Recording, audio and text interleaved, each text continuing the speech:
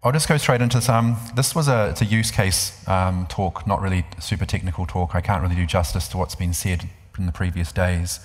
Um, I'm not trying to scare people off, but we're going to go a little bit into the architecture. But I just wanted to explain how we're using the different sets of technologies to deliver um, an omni-channel experience. Um, so um, just for, so you know, um, the bank itself is headquartered in um, Dubai. I'm, based, I'm, actually from New Zealand originally. 10,000 employees offering a wide range of products. Um, also a banking, Islamic banking division, so it covers nearly all types of people within, within the area, and they've just recently acquired um, DenizBank, so that means they now got, we've now got our presence in Singapore, India, Saudi Arabia, Egypt, London, Turkey, Germany, and Austria. Um, am I speaking too quick? No? Okay. Um, so, again, it's just one of those things where it's, um, I'm just going to cover a, a couple of concepts and some ideas, as I said, go through the old architecture, the new architecture, and then um, I'll introduce you the algorithm we're using on the back end of it. Um, I can't answer questions about the algorithm itself. Ideally, I would have liked to have had my colleague here, who's the, um, the head of artificial intelligence from the bank, but he couldn't make it. And then I'll just do a little bit of a wrap up. Um, I do have to do these disclaimers. Um, it's a conservative bank. Uh, it was unlikely that they would have let me present um, in, this, in this conference um, to, to, to, disclose this type of information. Um, so I, I can't answer too many questions. Um, so this hopefully is the first of other conferences I'll be able to speak at. Um, but it's, but it's, a, it's a generally, generally sort of known thing in the, in the region. Um, they don't like to disclose too much information. So just a little bit of a warning. Also, there's a slight deviation from the original proposal. Um, uh, when, I, when, I, when I submitted it about three months ago, um, things have changed in the bank, so I've, I've tailored it to that. Um, and again, I'll just say it's a little bit of a light technical talk, but it's more about the concepts and the use cases, uh, or the, use, the particular use case that we're going to be going through. Um, so, what um, this is on the, on the left-hand side for you, but my right-hand side. This is generally how um, marketing campaigns are orchestrated. It's what sort of what sort of products do people have? Um, can we upsell them? Can we cross-sell them? Um, and it's really driven by the bottom line. And so we don't really want to do that. Um, so what we do is we spam customers to do all sorts of things, asking customers to participate in surveys, send them more and more information.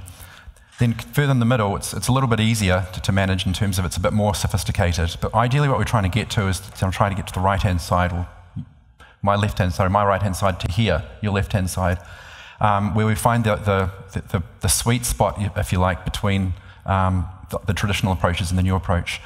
Um, so, with that term in mind, the project that I'm working on is actually we're wanting to uh, deliver this. Um, so, if, in a nutshell, the ones on the left the right hand side um, are batch based, typically three month cycle, very hard for attrition, um, well, sorry, attribution, spamming customers, many, many customers opt out. It's Just a dreadful customer experience. Um, and it's, again, it's driven by the bottom line. Um, and it's a very, very awkward um, situation for, for customers to be in. Um, in, the, in, this, in the region of the Middle East, um, we we get spammed with all sorts of different types of products, even though, even though we've asked them not to, not to talk to us. So the channels themselves are not talking to each other. Um, so what we'd like to be able to get to is, is to more, more, dynamic campaigns, more targeted towards the customer, uh, more centric, um, simpler experiences, easier to measure. Um, so the attribution is much, much closer and much more in real time coming back into the, into the architecture. Um, and allows for experimentation. So at the moment, we can't really experiment with customers because we just bombard customers with everything. Um, and also, it's a very good for, for the omni-channel experience, which I'll cover in a minute. Um, so, the couple of the requirements that we've had to work, for, work with, um, it, it's event-driven, um, as, um, as, what's mentioned above. Um, we also need it to be extremely performant because the SLAs we've got from, from the multi-channel customer experience people is that we've got to, we've got to have the, when the event is generated, it needs to be propagated out into the channel or just before the channel within five seconds of the event being captured. So that in its own, own right is actually quite a, a, challenging thing to do given the back office systems um, we're dealing with at the bank are very old. And so we need to, we need to literally re, reinvent the events coming off the databases and then repackage them up and then fire them through, um, through the streams. Uh, it needs to be modular um, because as we move bits and pieces around, which I'll cover off in another slide, but as we move and start to swapping things in and out, depend, uh, particularly campaigns and things like that, We don't want to go through a large uh, process of, of re engineering systems and what have you, um, which is the, the, case at the moment. So there are some campaigns that have been pro uh, proposed at the bank, but because of the changes in the, in the, source systems, they've decided to pull the plug on them. Obviously, needed it to be durable. Um, history needs to be maintained, which I'll cover a couple of those business rules later. Um, scalable, of course, which I've touched on, it needs to be able to evolve um, as new, new technologies come and go. Um, and events need to be as light as possible. Um, so we don't want to be carrying a big, long event being pushed through all the way to the phone and app because that's just going to be slow and it's going to slow everything down. So um, we need to be making sure that it's as light as possible, carrying as small data as possible, but which can actually be used by the customer. And thus far, we've, I've identified 30 plus inputs, which is geolocation information, telecommunication information, airport information. So those, those data sources are coming on stream at the moment. Um, but, but, um, we've only got four at the moment on, uh, through, the, through the models. Um, so, is anyone familiar with the notion of an opti channel here? Yeah? Okay, good. Um, so, we're fixated at the bank with multi channel and omni channel. And so, we've, um, we're having problems with that, of course, because the, the the experience is broken. Um, so you'll, you'll, go through the funnel, you do something, you, you, you, time out, then you try it again, and then all of a sudden the information is lost, then you log on again in bits and pieces, and it just becomes a bit of a nightmare to deal with. And actually, the customer acquisition funnels are dreadful as well because people are just popping out at various, at various um, steps. So, what, we what we've pr proposed to do is actually change it around quite a bit, and um, rather than offering more channels, just offer a more st streamlined approach for people and actually pick the channels that the customer is actually uh, interacting with rather than actually saying this is what the channels are. So this is where OptiChannel comes in because it does offer a lot of simplification for your, for your experiences with customers. Um, and so it's a very, very low touch um, event that gets propagated out to the phone. Um, click on the phone and, it comes back. And, one of the things we're really, really keen on is using uh, WhatsApp Messenger for our banking um, interactions. So, so what that means um, is that rather than, as I said, you, you've got these broken silos across the different channels, you can actually just operate seamlessly through a very simple channel with very small bits of data which are, which are poignant for that particular period of time. So this is the old architecture. Um, it's familiar with every, I'm sure everyone knows. Um, nothing, nothing extraordinary, but what I wanted to point out to you is that T, T plus one, T plus two, and then you get your notification being sent out. So you could be on a plane, you could be on the way back to, um, to, uh, to the US, to Tahoe, or something like that. Um, but that's just too, too, too late, and that actually uh, situation will never come again. So how do we then harness that situation and make the most of it? Um, so what we've got now is this. So um, we're using, based on the, the, the high-level requirements, we needed a very, very fast extremely quick um, read and write database. And we, we looked at um, HBase. It wasn't up to a standard what we wanted. We looked at Cassandra. We didn't really like that. And we've landed on, um, on Apache Ignite. So on the top of that, we've also got the Beam and Flink running and then the multi-arm over the top. So the trigger type, so there's four different inputs that go into the multi-arm bandit. So you can see the trigger type, the context, the tone, and the nudge. So uh, the trigger type is what is the actual customer doing in the back end? And that, and that could be, in the, this case, I'll, I'll, use it, it could be a credit card transaction. So that credit card transaction then will, will fire off an event. Then we need to understand the context. Where is that person up to in their, in their spend cycle? Is it the beginning of the month? Is it the end of the month? What's the balance being carried? Um, then we can understand what, what things we can actually offer them, what things we can do. Then the tone is related to the context. And the tone is these five tones. If, if, you, if, you, if, you, if you've reached your limit in the, in the first week of the month, we may send you out a strong tone saying that you actually you may want to sweep money or you may want to do something along those lines um, because you're, you're, you're, you're, falling behind on what you're trying to do. Um, and then the nudge itself um, will be saying, based on these sets of criteria, this is the nudge that we'll send out. Then it gets fired off into a Kafka topic. We've got a dead letter queue at the top there because what happened is a lot of people may have opted out for the service. Um, the multi-arm bandit doesn't care about that, and we don't want the multi-arm bandit to do the calculations on whether those people have opted out or not. So we then do some analysis on, on those opt-outs, and that's coming from a CRM system, which is just a very small file that's a very small lookup. Then it goes to the gateway, then it goes to the notification engine, then gets posted into, into a WhatsApp. Then it comes back in again, and then it ignites, uh, ignites, update ignites, I should say. I didn't want to put four lines into that and also updates HDFS because what we do need to understand for historical purposes, this nudge was sent out, this nudge was, was actually used. this nudge is now the business states, the business rule states we can't send the nudge out again. Um, obviously, with historical data in the back end, we've got HDFS, and that's just coming from the source systems, the, the payment systems, the ATM systems, the, the, the, the treasury systems, etc. Um, and then, as I said, over, up, up the top, we've got the multi-arm bandit algorithm um, playing. So, is there any questions so far? Yeah. So, um, the multi-arm bandit is, I'm not sure if people know what, what it is, um, but it's, it's basically an algorithm that we, we, we, selected this algorithm because we didn't want to go through the pains of trying to, uh, try and chain a model, train a model over months and months of data. And this is built on reinforced learning. It's around exploitation and, and, and, um, and um, uh, exploration. So what happens then is that um, what it will try and do is it will optimize the nudge to send out based on a set of input. And once that nudge is set out, it's been redeemed, it comes back in again, then, um, then it will update accordingly. Um, so, sorry, just go back, sorry. Um, and it's based on the, one, the multi-arm bandit, um, where it's, it's, which, which arm do you pull um, to, to, make, to get the most out of the, um, the investment within, well, lack of investment, I suppose, into the actual machines themselves.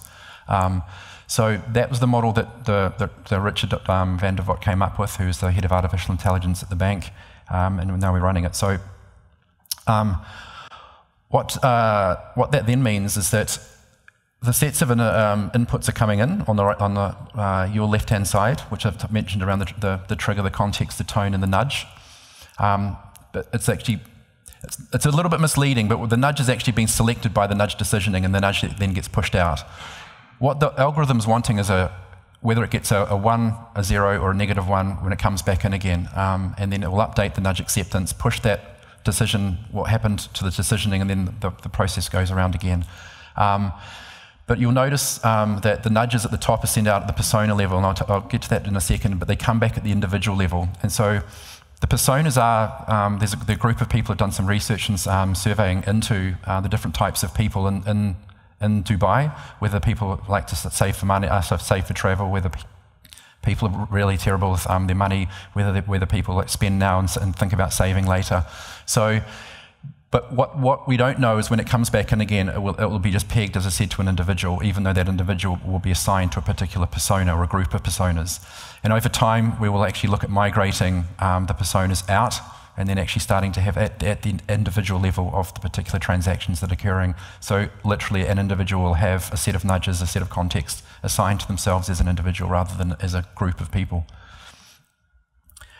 Um, dear oh dear, this is it. Um, sorry. So just to wrap up, um, these applications are perfect for omni-channel, um, particularly the Beam and the Flinks and the Kafkas and the Ignites because it's, it's very, very good for session times. It's very good for um, for, for those types of things.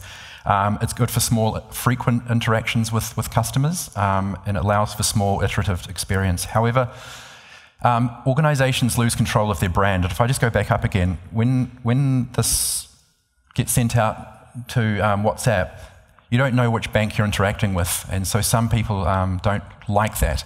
Um, so you, are relying on a WhatsApp branding, a WhatsApp interface, and everything like that. However, what's embedded within the interface, or what's embedded within the message, obviously, is clearly banking data. And technically, state will always be a challenge. I was speaking to Jesse um, Anderson over dinner on Sunday night, and it was um, we were just talking around the difficulty we're going to have with replication of the data as the, as the algorithms themselves become richer and become faster. And so at the moment, we think we've got a control over the, over the state and the management of the state, but I know over time it's going to be becoming quite a challenge for us to, to, to do. Um, all right, so any questions? Uh, you explicitly call out both Flink and Beam in, in, the architecture. Does that mean that you use Beam on top of Flink, or does that mean that you use both as. API options? We, we're using Beam on top of Flink. Yeah. Okay. Yeah. Have, have you also considered using Flink directly?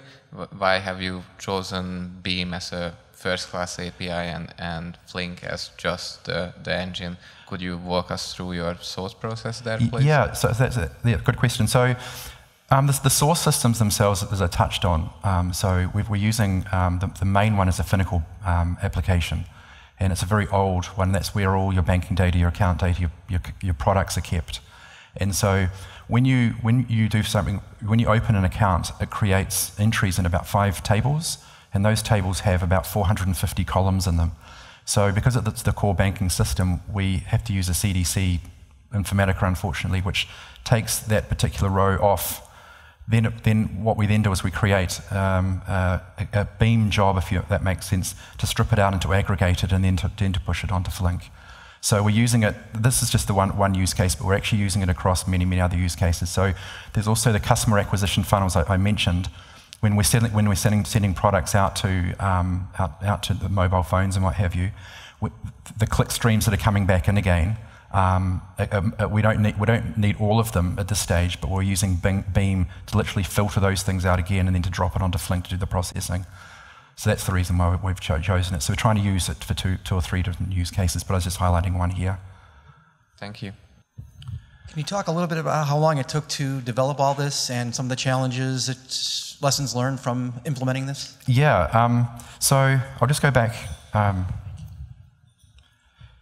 so the, the, this is the, the, biggest challenge with this probably is actually would you would you believe posting it pushing it out to um, WhatsApp.